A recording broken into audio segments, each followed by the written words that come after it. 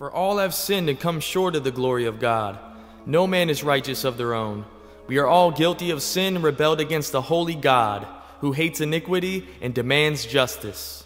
We all deserve punishment for our sin, but God so loved the world that he sent his Son, Jesus Christ, to suffer and die on the cross on our behalf. Jesus never sinned and lived a perfect life of obedience. He was crucified for our sins and for the sins of the whole world. Three days after his sacrifice, God raised Jesus Christ from the dead. He has resurrected to glory and lives forevermore. The Lord Jesus Christ has been given all power and authority. He sent out his followers to go and make disciples of all nations, to proclaim the good news and to teach others to obey everything he commanded them. He is now exalted and sits at the right hand of God. God has appointed a day to righteously judge the whole world by Jesus Christ, whom he has ordained. We are called to preach the gospel and to warn all of mankind, to repent and be baptized in the name of Jesus Christ for the remission of sins, that you may receive the Holy Ghost.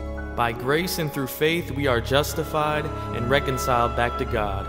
Grace is not an excuse to continue in sin, but through faith God has given us the power to be dead to sin. The righteousness of every man is filthy as rags, so that no man can boast. Blessed is the man who forsakes his sin and puts trust in the Lord Jesus Christ. Cursed is the man who forsakes the faith and puts trust in his own good works.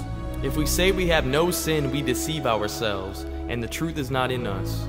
If we confess our sins, he is faithful and just to forgive our sins and to cleanse us from all unrighteousness. We encourage everyone not to sin, and if any man does sin, we have an advocate with our Father. He is Jesus Christ, the righteous one. He is the propitiation of our sins, and not only for ours, but also for the sins of the whole world. Those who reject the Lord Jesus Christ and the message of his mercy will be rejected on the great day of judgment.